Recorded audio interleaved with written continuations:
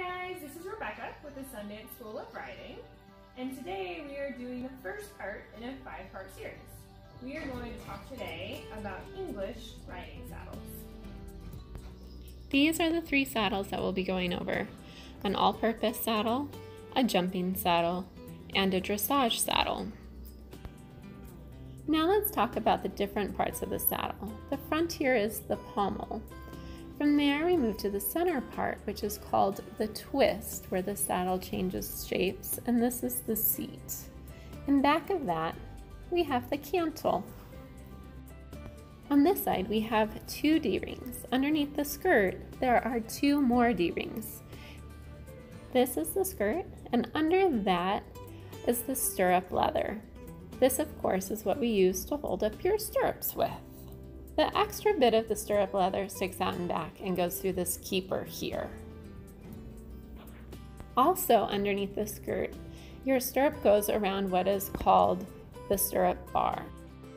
When riding, your leg rests on this saddle flap, and if you lift up the saddle flap, underneath you'll get to see the buckle guard, which is this right here, and then the billets that your girth attaches to.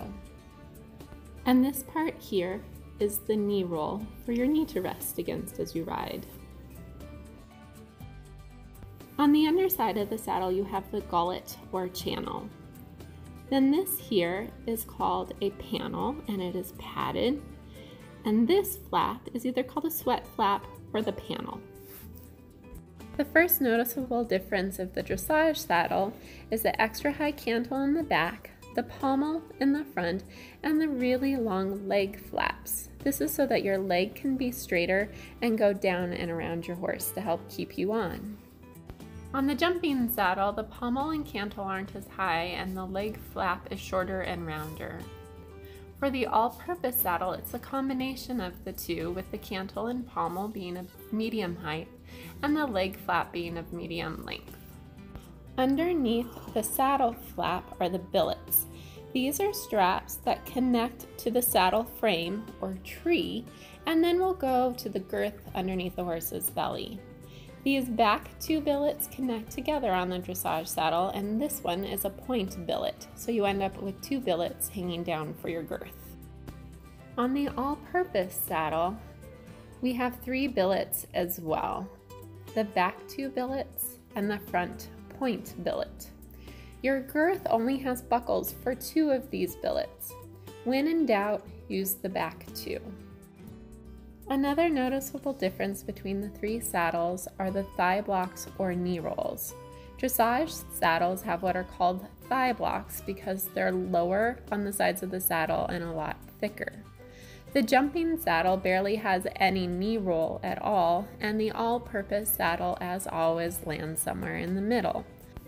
Meet Aztec, and he is going to help us talk about where to place your saddle on your horse's back.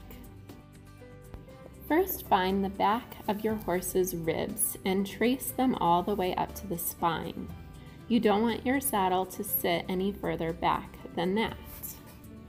In the front, we worry about your horse's shoulder blade or scapula. We don't want the saddle to impede its movement. Place your saddle a little too far forward on your horse's back. Then you're going to slide it back just a little bit so that the shoulders have plenty of room to move.